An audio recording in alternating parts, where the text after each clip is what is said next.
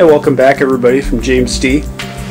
I know I've been out for a while, um, basically because I ended up taking this whole thing apart. I thought I was going to have to sell her, and then found out I didn't really have to or want to, so I ended up putting her all back together. And main reason for the video is I'm going to redo the loop. Now, when I put it back together, I just used whatever hose I had laying around. So obviously it's not long enough here or here. And what I'm going to end up doing is I'm going to flip the radiator. I'm going to make so that the barbs, which are over here now, go over here. Okay, on the inside. And that'll make it so I've got to bring this from out here. I'm Going to make it go over here I'm not going to get a compression fitting because I'm going to have to put one, you know, up here, here, here. And it's just going to add restriction, especially on the CPU block here. Because I'm not one where I can just put one there and have it nowhere else. It's got to match, so I'm not even going to bother. And then once I have the hose from the radiator, it's going to be up in there into the reservoir and get rid of this dong hose right here because this thing's just is in you know getting in the way of the airflow. I'm also getting quieter fans too because those Ultra Kaze I've heard they're called those ones just the oh god. It sounds like a friggin' jet starting up so. Yeah I'm gonna get some quieter ones the slipstreams. Now the method actually with the WD-40 inside of the ball bearing has worked pretty well. I mean, I've had zero issues with these fans so far. They're pretty damn quiet too.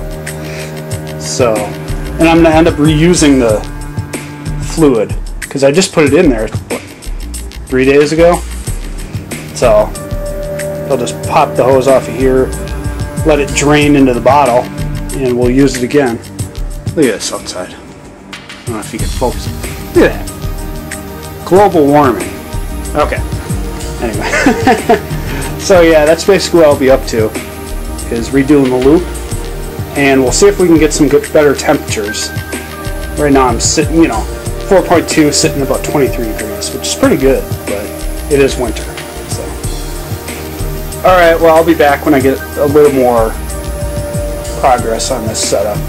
So, alright, I'll be back. Okay, here we're back. You can see the work I did.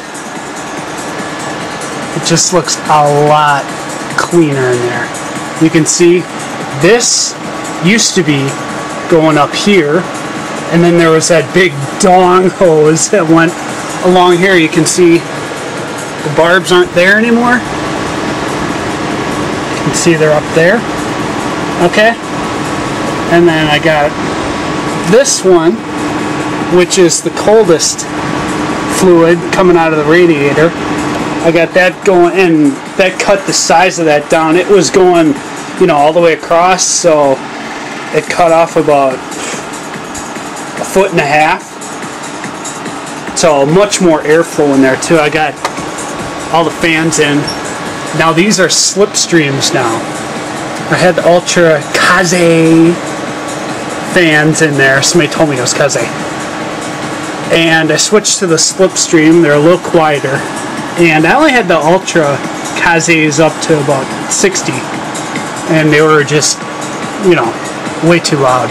And I did the WD-40 as well on the bearings. So, as you can see, I mean, you know, I'll optimize this later, you know, put it in a different spot. I just mainly wanted to see if everything would work.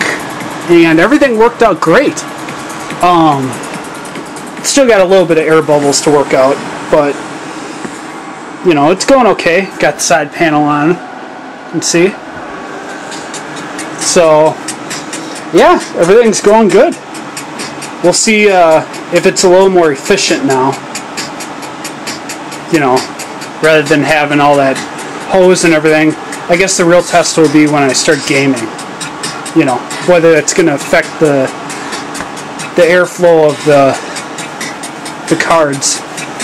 So if you have any questions on how I did this, please write me a comment or a message and I'll be happy to answer.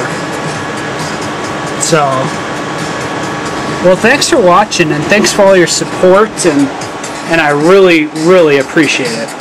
So, alright, till next video, guys. Talk later.